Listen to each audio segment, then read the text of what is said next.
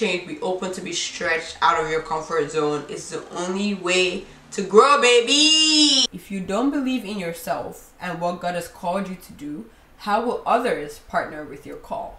Open a savings account for travel. If you're someone who loves to travel, don't buy the things you need, especially when you've told your friend to try not to buy it during your birthday season. Because someone say, fix your face. You say A M A K A. Oh yeah. Hear me say, open up your heart to the will of the Father. Open up your heart to the will of the Father. Open up your heart. Hey guys, welcome to my channel. My name is Amaka. A M A K A A A. You already know. You already know what's popping in your area. If you're new to podcast, welcome to the Open Up Your Heart podcast slash channel. If you're watching on YouTube, it is so amazing to have you here today. I never say it's so amazing to have you here, but it is so amazing to have you here. Um, if you're new to my channel, please don't forget to like, comment, share, and subscribe to join the fam. We love new members. Let's go. Let's go. What? What? Let's go. Hey, today we're going to be talking about 24 things. 24 things. 24 things that I've learned in my 24 years of living. Um, majority of the things I'm going to be um, doing or saying today is majorly things that I've learned this year or I've like re-evaluated this year that I've learned. And so I try to do this every year like 23 things I've learned in 23 years. I think I started that when I was like 21 and so I have like this record of doing this every year. Um, so I'm pretty excited. But before we get right into today's topic let's talk about what's popping in my area. And so in the what's popping in my area segment, I gotta tell you guys what's been popping, like what's been happening in my life. And if you feel free to share in the comment section what's also popping in your area. And so one thing that's been popping in my area is I turned 24. Oh my gosh, Marco, we have no idea. Yeah, of course he turned 24. I turned 24 on Tuesday and I'm super duper excited. My friends threw me a small, intimate surprise dinner with my like inner circle people who I love so much. Um, and then I got tons of gifts. I did not vlog, although some people said I should vlog, they want to see it. But I feel like I'm just in my podcast era and I really, really want to focus on my podcast era. Next year though, 2024, I'm going to be bringing some nice hot vlogs for you guys and I'm super excited about that but just this year I really wanted to keep it in like you know I did post some of the things that I got on my Instagram so if you're following me at Fimbo99 you might have seen it but I got new AirPods for my friend I got a mic for my friend my friends came together some of them came together and they put in money and they bought me a new mic for my podcast so that was super sweet it made me cry. I really did feel loved heard seen regardless of the gift or no gift I do appreciate it. But yeah, that was pretty much it for what's popping in my area. Without further ado, let's get right into today's video. And so, I'm going to be sharing 24 things in 24 years. And the first thing I wrote down that I've been practicing a lot is start your day with God and not your phone. It will make a difference. This number one thing is something that I've been trying to practice a lot. And so from Monday to Thursday, I actually turn off my phone before I sleep and then um, when I wake up I try to start my day with like the word of God. I try to start it with the book. Like I try to read a chapter from a book every day. Um, those are some of the few things that I've been trying to incorporate into my schedule. And I realize that when I do start my day with God it doesn't matter what email I get. It doesn't matter what messages I get or whatever. I'm not as overwhelmed than when I do not start it start my day with God. And so that's definitely something I've been incorporating. I do Monday to Thursday because Friday is a really busy day for me. Saturday, very busy day for me. Sunday, very busy day for me. So it's kind of harder for my routines to kind of like go through. But Monday to Thursday, I'm very rigid with like no phones in the morning. Monday to Thursday, I'm not starting it with my phone. So that's been helping me a lot. And um, but yeah, it's good. Number two, the second thing that I've loved, loved, loved to do, and I've learned um in the year 24 is you will lose some but you will gain much more. You might lose some friends you might lose some things that you've been attached to but it is nothing compared to what God has in store for you. Like and I don't even know if I should do a video on this like in the future or a podcast on this in the future, but like bro, like things I thought I lost this year compared to what God has given me as at now, mind blown. Absolutely mind blown. And so you will lose some things. Not you might lose some things. You will lose some things. And some people, in terms of friendships or things that are people you thought will always be there, but it's not in comparison to the people you would actually have around you. So clean those tears and keep moving forward. Period.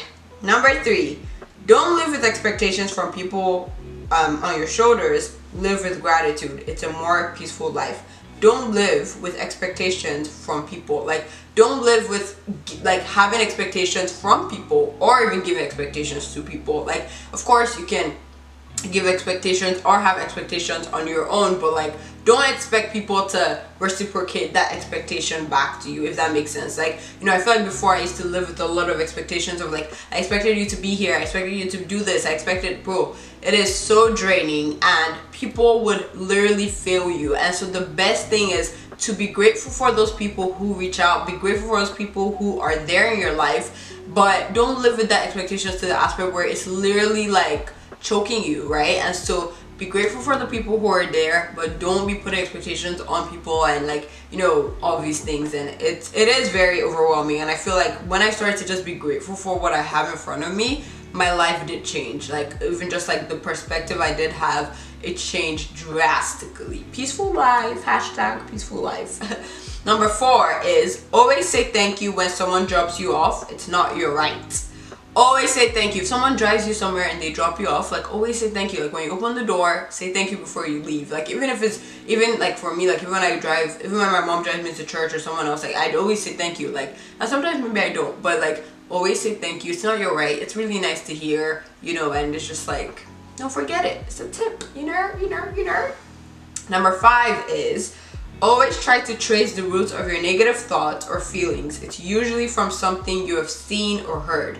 Whenever I have a negative thought, this is something I've tried to practicalize, especially this year. If I'm having negative thoughts about something or someone or of the stuff, like I would say to myself, what is the root of this? Like, why do I feel this way? Like, try to trace your thought. Is it something I watched? Is it something I heard? Is it something someone said to me? Right? So, it's very important and like whenever you're tracing those things you actually find it like i feel like the root of this of this negative thought is because someone said this to me two weeks ago or because like I watched this movie like three weeks ago or yesterday night and I heard this thing and now I'm having this negative thought pattern or I'm having this negative idea of something that's gonna happen to me. And so it's very interesting and um, it's very important to trace your thoughts. There's always a roots to a thought. I always tell people that I counsel that there's always a roots to your thought. Trace it trace it trace it. Number six is be open to change. It's the only way to grow. Be open to change. Be open to be stretched out of your comfort zone. It's the only way to grow, baby. Number seven.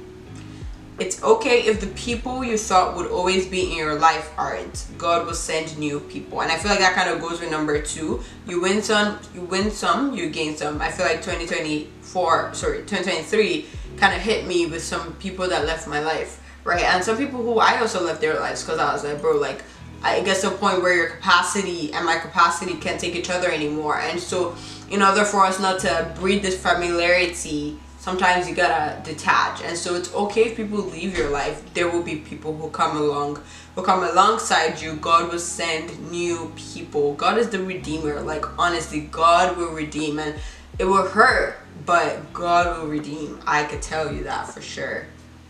Number eight, no one can block your shine or what's for you, not even the devil. Everything will work out for your good. No one can block your shine.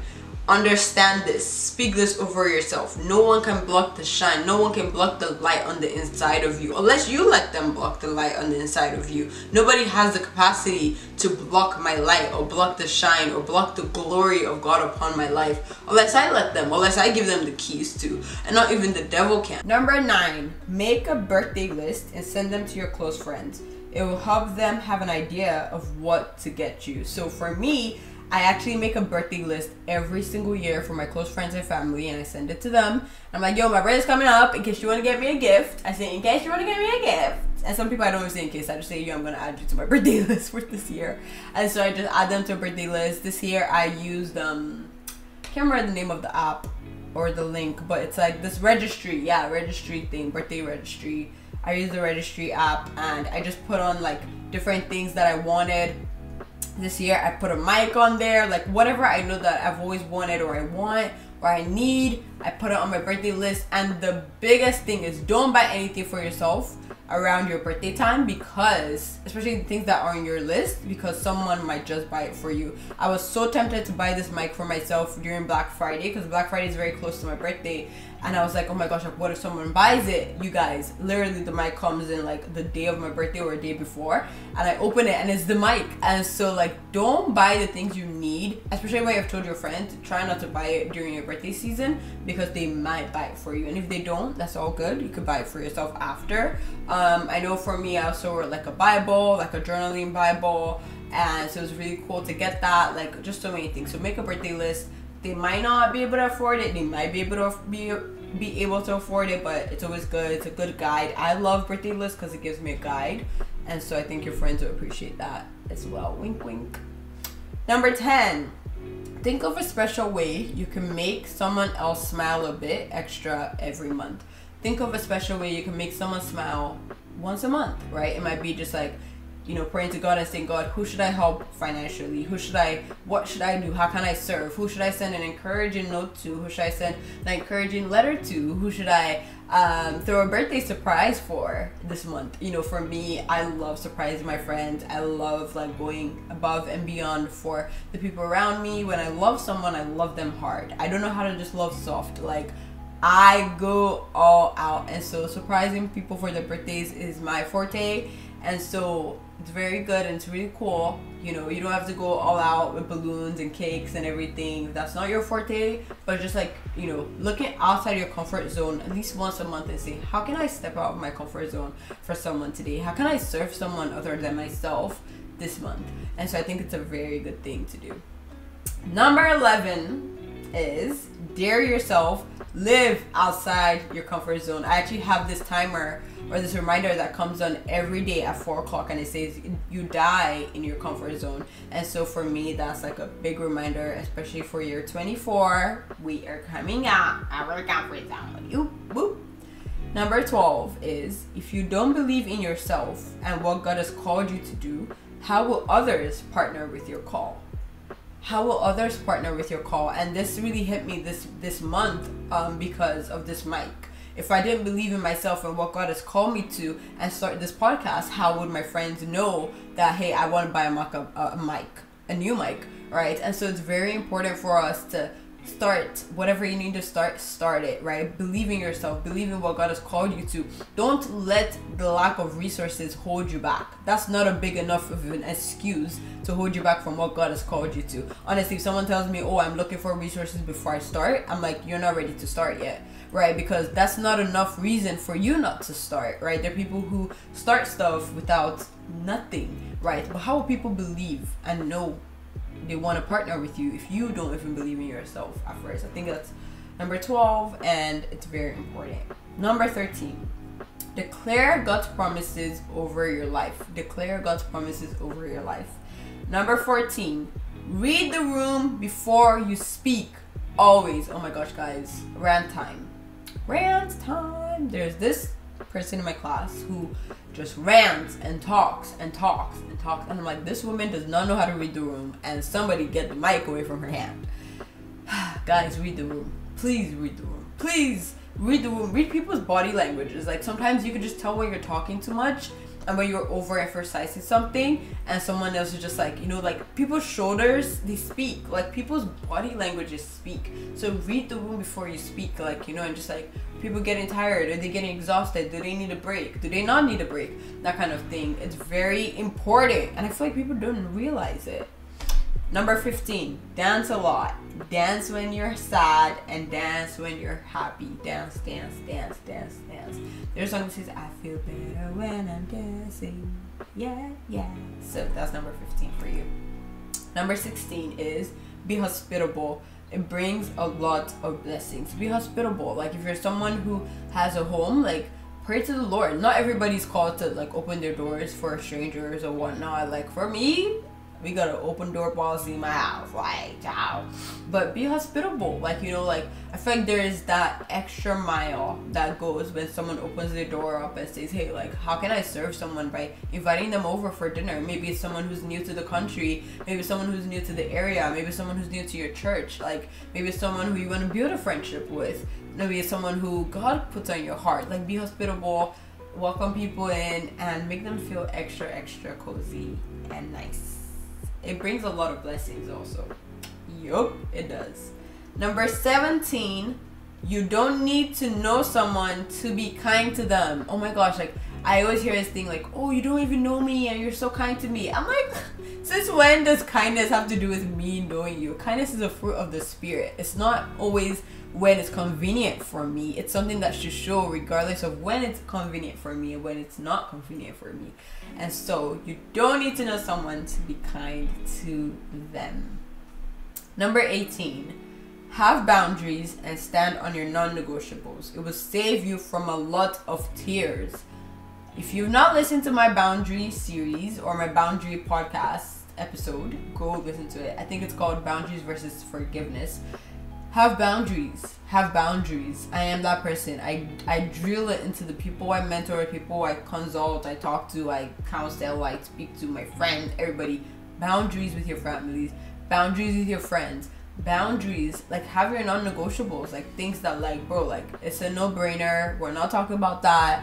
There's certain things i don't talk about with certain people. There's certain places I would never go to. There's certain people's birthdays I would never say yes to because it's a boundary for me. And I'm just like, yo, like I already know what's gonna happen, so I'm not gonna do that. There's certain people's calls I don't pick us pick up at certain times because I know that that call is about to be too long for my brain at this moment of time. And that's a boundary for me. And so have boundaries. If not, people are gonna walk all over you, and it's gonna end in premium tears. So have boundaries.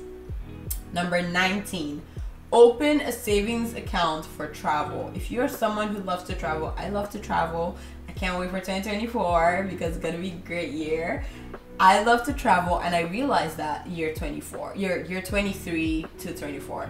I realized that I love to travel. So earlier this year, I opened a savings account for travel and so I would save a little bit every single week I would save a little bit every single weekend. So this year I was able to, you know, be able to spend from that travel um, savings account with no brainer from like my checkings account. I didn't have to touch that. Like it was just like bound.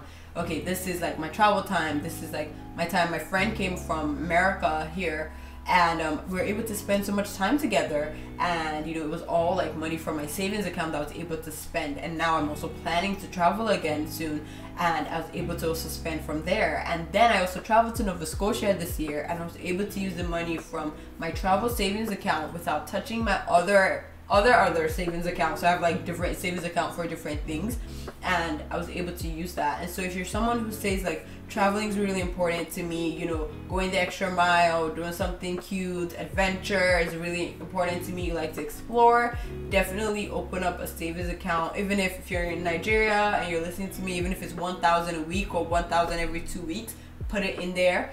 Which leads me to my next point. If you're bad at saving, have an accountability partner and challenge yourselves to save something once a week. So I have two of my other friends plus me, three of us. We have uh, this thing where we save a certain amount of money every single week, every Tuesday. And so I have a reminder on my phone, save certain amount. I won't tell you the amount, but save a certain amount every single Tuesday. It pops up on my on my phone every Tuesday. And then also I also have them texting me every Tuesday we know text this person. So we text the three of us text each other. We're like, save this amount, save this amount, and every single week, and we calculated like how much we'll be able to save at the end of the year. And once we saw how much we'll be able to save, such a little peanut amount of money every single week, how much we're able to save at the end of the year, we're really shocked. And I feel like that also really helped us to be like, yo, like let's challenge ourselves. And so that was very, very, very cool. And so if you're someone who cannot naturally save on your own, I would recommend have some accountability partners. You guys come together and say, how much do you guys think we can save individually? We're not saving together, by the way. I'm not saying do a job or put your money together. That's if you want to do that. But for us, it was like just an individual reminder in our own savings account to save this certain amount every single week. So, anyone, try to shower without music sometimes. You might get some new ideas in there. I don't know about you guys, maybe this is not a problem for you, but for me, I feel like I always shower with music all the time. And I feel like there's just this thing of like, I need to take my phone everywhere. Like, I need to take my phone to, you know, to my room. I need to take my phone to the shower. I need to take my phone to here and there and play music. And there really isn't that time to be quiet. And I feel like in 2024, I'm going to continually try to practice quietness. Number 22 is don't look at anything that God calls you to do as an option take it as a command and move. So for you like whatever god is calling you to do in this season are you struggling with it to do it because you look at it as an option? If you look at something as an option you're not gonna do it because you're like you I get to do it or I don't get to do it. For me it's like I don't get to choose. I just get to say yes. It's a privilege to work for God and so that's something that's really helped me out in terms of obedience of like go, bro like it doesn't matter how hard it is god i just thank you for even the opportunity to be able to do it and i just do it. And you know of course there's sometimes when i'm disobedient and i procrastinate but you get the point. 23 don't wear your anger on your face. Fix your face. 23 is fix your face. Fix your face someone say. Fix your face my sister's like, what's wrong with this girl? Number 24, the last one, the one that I'm so passionate about. Address issues as soon as you can. Don't let it pile up. Bro, have hard conversations. And that's an episode that I recorded and hopefully it will come out soon. Bro, have hard conversations address issues. Don't let it pile up, guys. Write it down. If you're someone who like things pile up for you, you have you have like you know fights and things with your friends, and it piles up. Like try to be that person in the new year where you're saying to yourself, I don't want to go into like like have a deadline like is it two days is it three days and i'm gonna tell them like for me it's like one and a half day and i bust like i bust up woman like i'm not keeping that thing in because my heart is so innocent and it's so precious to god and it's so delicate. I don't want anything to rub my anointing off. And so i be telling people stuff. Like i have conversations. As i said read the room. Don't just go there and start blabbing. Like read the room and see. And yeah that is it for today's podcast. I don't want it to be too too long. I know i kind of sped up a little bit or a tad a lot bit there but I hope that these things that I've learned in my 24 years of living bless you always. And yeah, let's pray. Let's pray, guys. Uh, thank you, Jesus, so much for today. Thank you, Lord, for the privilege to be able to share 24 things I've learned in 24 years, oh God.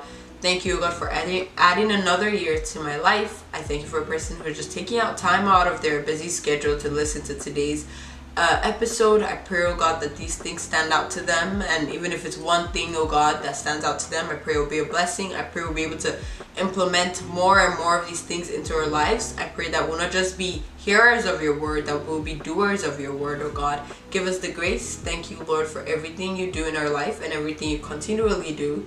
In Jesus' name, amen. Amen. Thank you guys so much for listening to the podcast episode to the end. I really appreciate it. Please don't forget to like. When you like the video, it tells YouTube that you like it and they should share it more. And please don't forget to subscribe if you haven't and comment below. I really want to see um, what of my lessons, what, what number from my lesson stood out to you. Like was it number 15? Was it number 24? Was it number 23? I would love to hear it in the comment section below.